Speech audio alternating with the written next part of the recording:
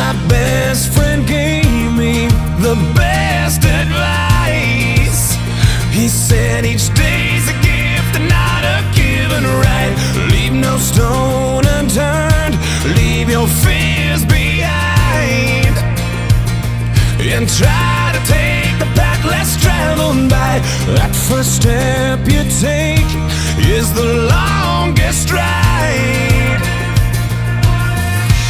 If today was your last day, and tomorrow was too late, could you say goodbye yesterday? Would you live each moment like your last? Leave old pictures in the past. Donate every dime you had. If today was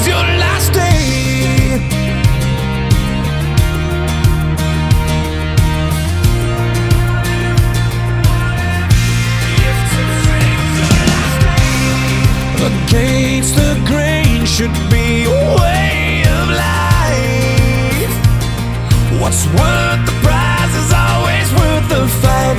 Every second counts, cause there's no second try.